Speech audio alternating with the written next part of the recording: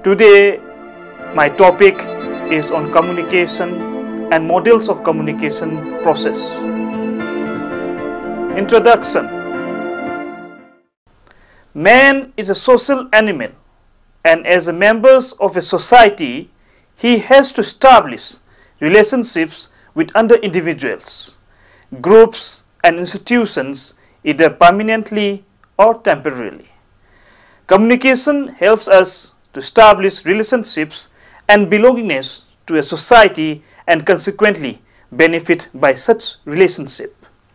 The very term communication stems from the Latin word communis, meaning common. This connotes that when people communicate, people exchange meanings and establish a community with the receiver through a message. To exchange meanings, human beings use variety of devices, words, language, pictures, drawings, body language, etc. So communication can best served in the development and modernization of India if it is treated as a science and art and indeed as a subject matter discipline related to other social sciences. With the development of science and technology, the forms and ways of communication have become more specialized. In the complex modern society of today, the process of communication is more complex and indirect because of the use of modern gadgets. It is much more than editing the printing, publications, writing news, stories, broadcasting, radio talks, preparing exhibits and motion pictures or publicizing demonstrations. Communication involves the complete transfer of an idea or thought from one's mind to that of another. It is not therefore enough if you tell the people about a new idea. They must hear it, understand it, and remember it. In other words, communication is telling someone something in such a manner that he gets it. Definition of communication Many sociologists, educationists, and psychologists have defined communication in various ways and according to the disciplines to which they belong. A few selected definitions of these definers are given below. Loomis and Beegle during 1950 defined communication as the process by which information, decisions, and direction pass through in a social system and the way in which knowledge, opinions, and attitudes are formed or modified. Secondly, Leagans during 1961 said communication is a process by which two or more people exchange ideas, facts, feelings, or impressions in ways that it's gained a common understanding of the message. According to Schramm, 1964, he defines communication occurs when two corresponding systems couple together through one or more non-corresponding systems assume identical status as a result of single transfer along chain we are trying to establish commonness. In other words of Thayer, during 1968, communication is the mutual interchange of ideas by any effective means. According to Rogers and Shoemaker, 1971, communication is the process by which messages are transferred from a source to a receiver. Van den Ban and Hawkins during 1988 defined communication as the process of sending and receiving messages through channels which establish common meaning between source and receiver. So comprehensions of the above definitions have revealed that communication is a process of social interaction that is in a communication situation two or more individuals interact. They try to tangibly influence the ideas, attitudes, knowledge and behavior of each other. Therefore, communication is an exchange of information, knowledge, ideas or feelings taking place between two individuals. In a face-to-face -face situation, communication is not a mere exchange of information, but something more because in such a situation, along with information one passes, the gestures, expression, language, the manner of expression and tone, all this combined together create a sort of impact on both. Some kind of exchange occurs as a result of interactions. These chains may be visible in terms of knowledge and behavior. Normally, communication is primarily interested to change the behavior of persons involving change in attitude, change in knowledge, and or change in skills. Communication in agricultural extension education services, especially for rural development, also known as diffusion of innovations, is a special type of communication where communication is in respect of new idea and is aimed at persuading farmers for taking action. In short, communication for agricultural and rural development is a part of process of educating farmer and farm women for changing their actions. Communications for educating farmers and farm women for changing attitude, knowledge and skills needs building confidence in the new ideas or practice and methods to overcome the risks associated with them. Therefore, in the context of agricultural extension education, communication can define as the process by which extension workers individually or in a group or through a medium exchange attitude, share knowledge and skills on behalf of organization with farmers, farm women through such ways that it gains comprehension, understanding and use of messages. So now let us try to discuss some of the models of communication. A communication model explains what takes place when messages are transferred from one point to another. Communication models are important. Firstly, to know the interrelated behavior needed for communication and secondly, to know that a model singles out its part of communication process so that it can be explained separately. Some important communication models which are related to agricultural extension education are discussed here. Firstly, let us try to discuss on Lasswell's communication sequence. Harold Lasswell, during 1948, designed one of the earliest models of mass communication by posing the serial questions who says or does not say, says what, in which channels, to whom, with what effect. This model is still widely cited and limited. Lasswell's model implies that more than one channel can carry a message. The Who raises the question of control of messages. Gatekeeper role says what is the subject of content analysis, to whom deals with receivers and audience and with what effect relates to credibility of the message as well as the status of the receiver. Secondly, Shannon and Weaver during 1949 commented that this model of communication has five key components. Number one, an information source which produce a desired message out of a set of possible messages, written or spoken, words, picture, etc. Number two, a transmitter which changes this message into signals suitable for transmission.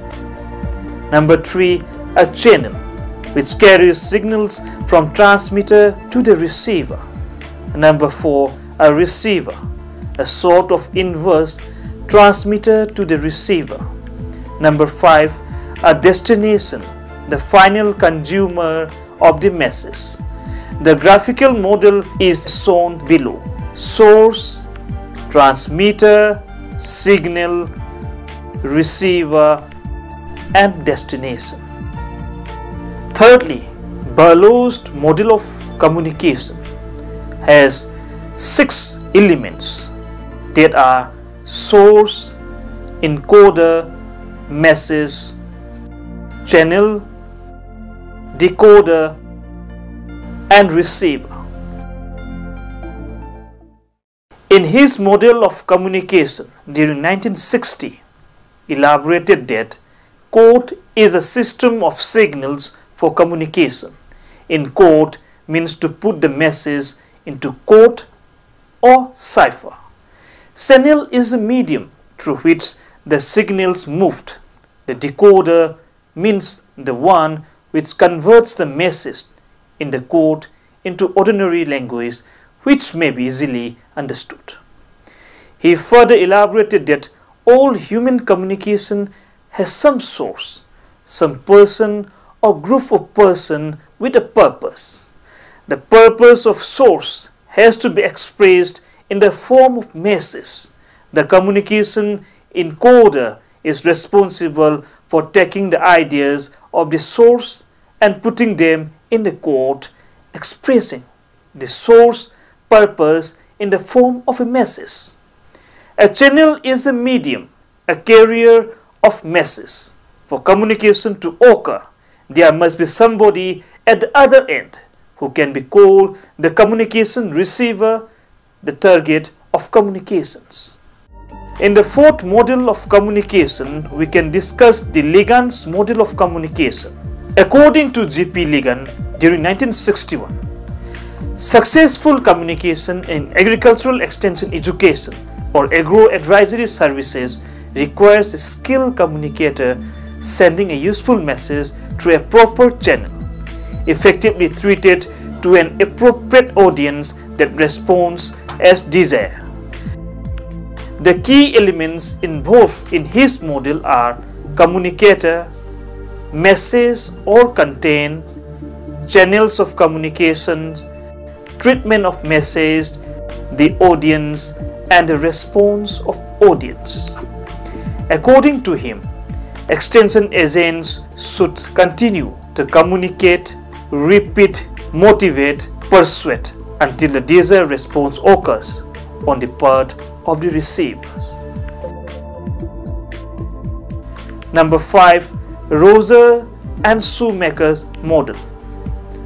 Source, message, channel, receiver and effects are the elements of communication model according to Rogers and Shoemaker. Rogers and Shoemaker thought of the communication process in terms of S, M, C, R, E model. According to them, a source, that is S, sends a message M via certain channels C to the receiving individuals R which causes some effects E that is changing the existing behavior pattern of the receiver. Number 6. The SMTCR communication model. Communication is the process by which messages are transferred from one source to the receiver. In agricultural extension education, it refers to the process of transferring an idea, skill or attitude from one person to another accurately, timely and satisfactorily. A simple communication model consists of the following elements as shown dramatically and discussed below. Number one, sender, message, treatment,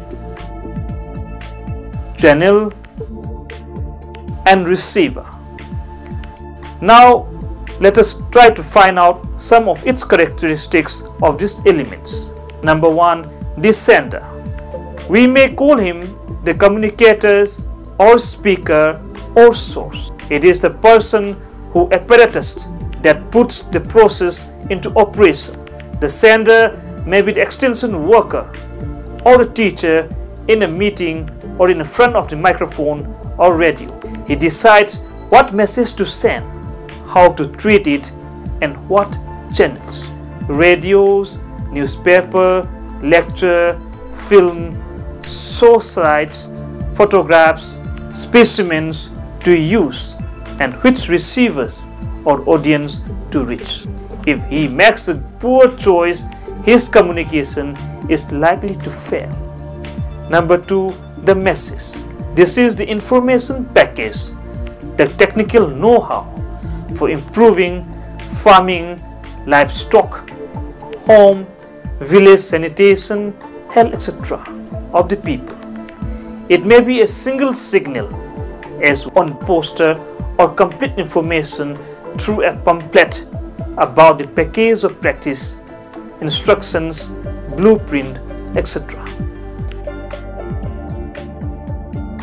Treatment It refers to the ways in which the message is handled before it placed on the channel. Its purpose is to make the message clear, understandable, and realistic to the audience. The channel. It is the avenue of communication that is, in a telegram, the whereover which the message is sent. In the radio talk, it is a radio station, studio, and whereways. In the article, the newspaper, in which our message is to appear. The receiver the receiver may be a single person which we write a letter. It may be a group of people who read the message or the masses who listen to the radio and see television. The more homogeneous the audience is, the greater are the chances of effective communication. Conclusion Agricultural communication by agricultural extension agents to the farmers for transfer of technology and agro-advisory services is a complex, continuous, two-way process in which the main element such as the sources, the messages, channels, receivers and the communication feedback are involved with certain degree of desire and undesired effects in both the receivers and the sources. All communication behavior has a purpose. The main function or the purpose of the communication is to change or guide other people's behavior. To achieve this purpose, various approaches can be used. It could be informative, commanding, or instructing influential or persuasive and or entertaining. The purpose of communication is designed for a particular person. It could be for the communicator himself or a particular individual or a group of individuals. Similarly, it can be fulfilled either by immediate reward or delayed reward. It can be both customary and instrumental.